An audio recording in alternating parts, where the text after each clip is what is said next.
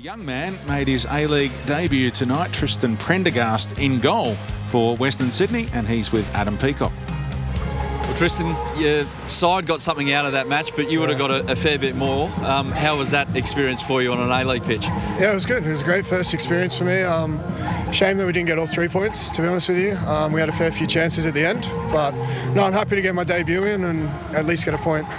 How long a wait has it been personally for you? Were there times there you thought, you know what, I'm, I'm not going to get this crack, or did you always believe that you'd get a go at this level? I always believed in myself, but there, there were stages where it was hard. I was been training on with Sydney and, and had a few sniffs at other clubs, but just never got that chance to to get a get a start. So I'm happy now to, to finally get my front foot in the door and to get a start and make a make a debut.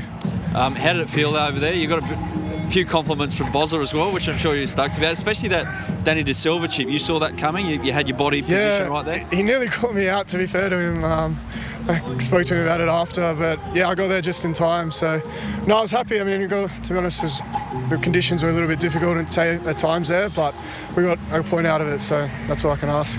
Now, you've been at Blacktown City, obviously a very successful club in the New South yep. Wales NPL, and you've had a good run there. And Mark Crittenden, your coach there as well, he pointed out to me that you were um, you were the social director of uh, of the team there. Um, have you taken over that role at Western Sydney Wanderers, or are you just still feeling your way? No, I'm still feeling my way in yet. I think uh, I'll work up to that in a bit of time, but I'll let the boys do their do their job at the minute. So you haven't planned the off-season trip for them? No, no, not yet. I've, I'll focus on the games first, and then uh, then I'll worry about that. Mate, well done tonight. You had a few fans in the crowd as well. It was good to see, and um, good luck for the next one. Awesome. Thank you very much.